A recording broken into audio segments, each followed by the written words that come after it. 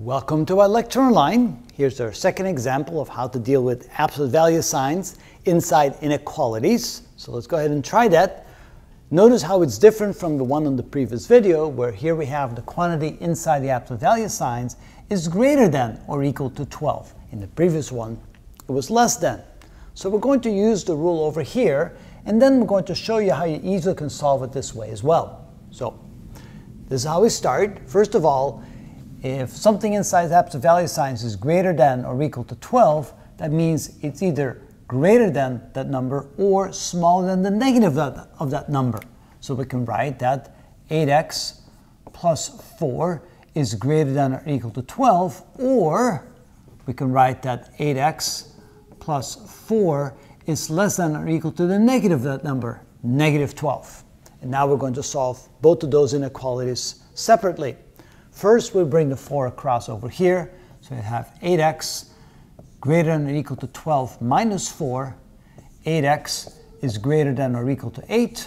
Divide both sides by positive 8. And we have x is greater than or equal to 1.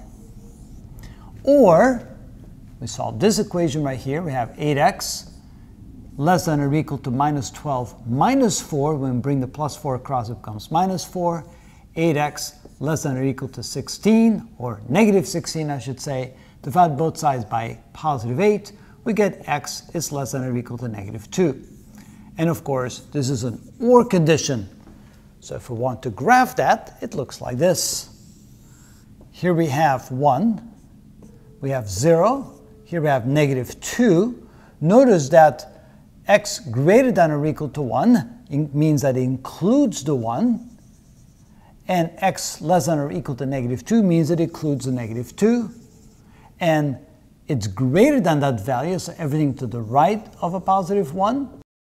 And here it's less than that value, so everything to the left of negative 2.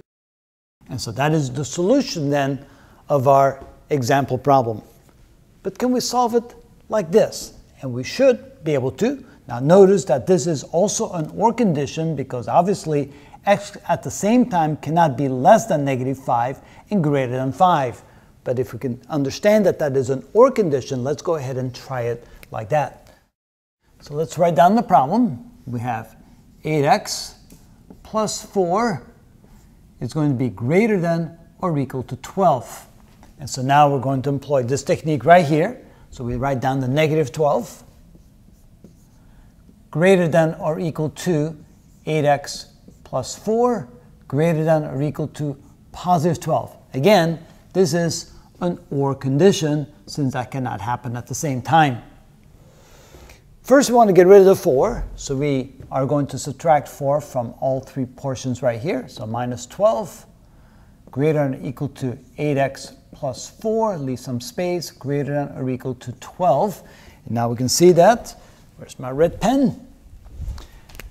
We're going to subtract a 4 from here, subtract a 4 from here, and subtract a 4 from there, which means we have minus 16 greater than or equal to 8x greater than or equal to 8. And now we can go ahead and divide everything by 8. Since it's a positive 8, we do not have to change the direction of the inequality sign. We don't have to flip them. So here we end up with negative 2 greater than or equal to x which is greater than or equal to 1. Again, this is an OR condition. So now let's go ahead and write it graphically. So we have the positive 1, we have a negative 2, we have 0 right there, and notice that x must be greater than or equal to 1. That means it includes 1 or anything greater than that.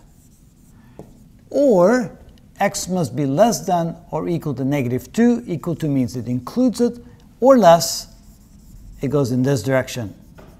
As you can see, then you have the very same result as you have over there, as long as you realize this is an OR condition, so you have to take one solution at a time. And so, whatever method you prefer, this is how you do that.